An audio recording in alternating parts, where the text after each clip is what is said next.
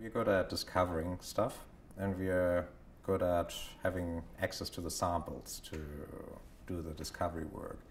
But where we definitely lack expertise is what do we do after the discovery, the verification, the validation.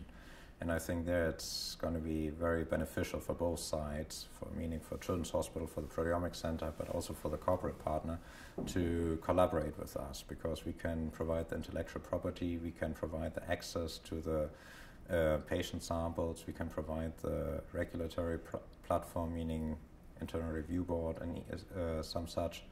And the corporate partner would then basically provide the large scale, high throughput validation platform. So it would be truly a win win situation at that moment.